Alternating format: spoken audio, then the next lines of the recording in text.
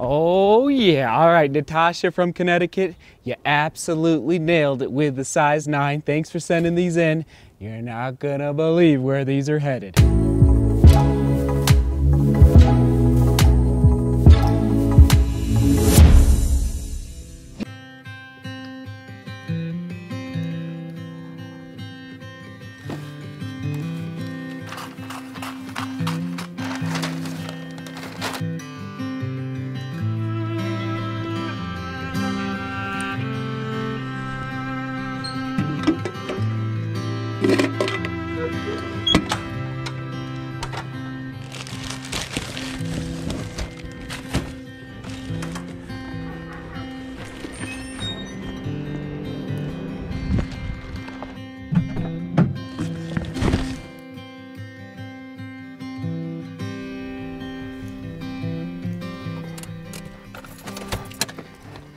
So that is right, everyone.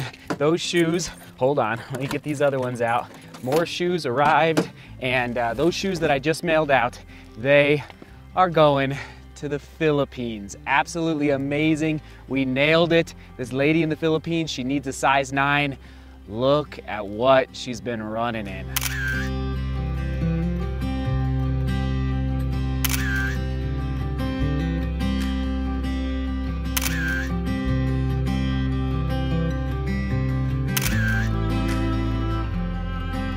That's right, Natasha. Thank you again for stepping up to the plate to help this lady out in the Philippines. Absolutely amazing. And yes, two more boxes, two more boxes today. One from Washington and one from Washington. Oh my goodness, two two more boxes from Washington. Thank you. We'll be giving these away sooner rather than later. All right, I'm back at the grass soccer fields here. Gonna go on a nice soft surface once again, and then I'll get you the update on my foot here in a little bit. All right go get my jog on. Oh man, storm's arriving. Right now, the clouds just rolled in. Definitely the hottest day of the year in Denver.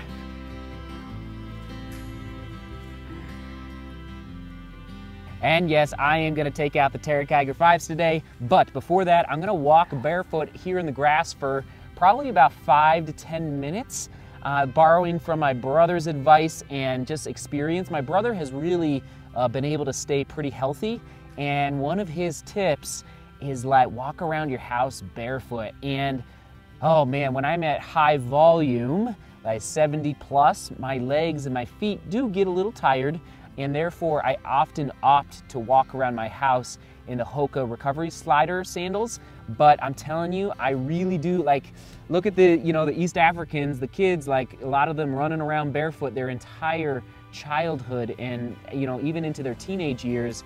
And so I'm just curious about like, can I strengthen my feet, make them so strong, so resilient by simply doing little things like different, like walking barefoot. And now our house doesn't have carpet; we have hardwood floors, so that kind of makes it a little more, uh, a little more of a task, if, if, uh, if you will. But anyway, I'm going to start here on the grass field, five to ten minutes, just walk.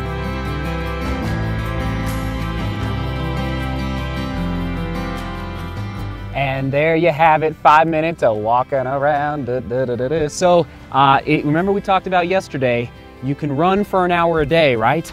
But it's the other 23 hours in the day that really can help set you apart as far as staying healthy, as far as recovery, so that you can come back even stronger the next day and the next day. So anyway, I'm gonna go run right now, but it's those little things like walking around for five minutes on grass, and I'll probably do a little bit more after the run as well, the jog.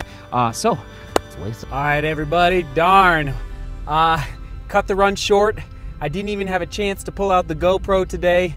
The only thing in the world that I don't really mess with when it comes to the weather is lightning. I just have had some scary experiences. I have some very traumatic actually experiences in my life with lightning, so it's the only thing I don't I don't mess with. So anyway, I cut the run short, just short of three miles, but hey, we're just coming back. It's all good and it's better to uh, live to see another day in my humble opinion it's not even like hitting the ground yet it's just up in the clouds the lightning but i just uh-uh it's not part of my playbook and we're back. All right, didn't get hit by lightning. That's a good thing. Just like live to see another day. All right. Um, I am aspiring to eat healthier. So here's a salad, pre-made salad from True Love. I'm gonna eat it right now, and it, yeah, I think it does connect to the foot injury and uh, just aspiring like a salad a day keeps the doctors away. I've heard that saying before. So anyway, I don't know about you, but in the summertime, it's always a little easier to eat salad. So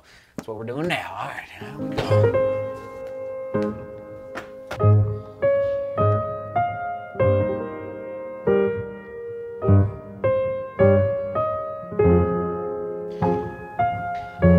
raspberry glaze from Trader Joe's. Don't mind if I do. Oh man, has anyone else tried this?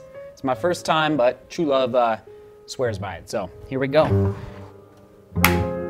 Ah, that's what I'm talking about. I don't know about you, but I literally feel better after eating a really solid salad, especially if it has spinach in it. Am I crazy? Like maybe it's all mental to me, but anyway, I feel better. So, okay, because the run was cut short, because of the lightning, which of course in Colorado it passes very quickly. It's like looking pretty nice outside right now, but because of that, I have a little more time to focus in on some foot strengthening work that I just got to stay on top of no matter what moving forward. All right, come on.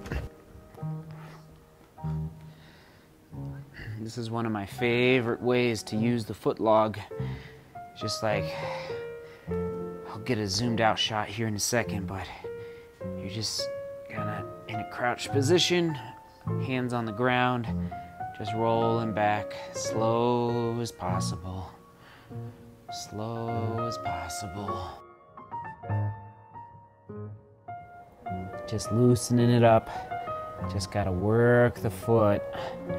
You know, I don't necessarily know how much one should work the foot as far as I minute, like exact minutes, but uh, I think you know. I think at the end of the day, you got you're just listening. You're listening to your feet, listening to what they need. All right. Whenever there are two boxes that show up at the PO box, I can't resist. I have to open up one. I always save one for the actual running shoe giveaway, so it's live and it's uh, exciting. But whenever two arrive at the same time, I gotta open. So here we go. All right. What is it gonna be? And these will be. Uh, mid-July that we'll be giving these away unless there's a special note. If you do send shoes and it's a special note saying, hey, I got a pair for a high schooler or I've got a pair for a young professional, size 8, I want them to go specifically to a lady or a guy, let me know in a note in the box and I will do my best to accommodate. But all right, look at this. Oh man, Ultra in the house. Ultra, here we are. Oh, oh, oh, super psych, not Altra. Okay, oh, but there's a sticker. Look at that. It's a Newton. Okay, I feel a little, um, I don't want to say ashamed.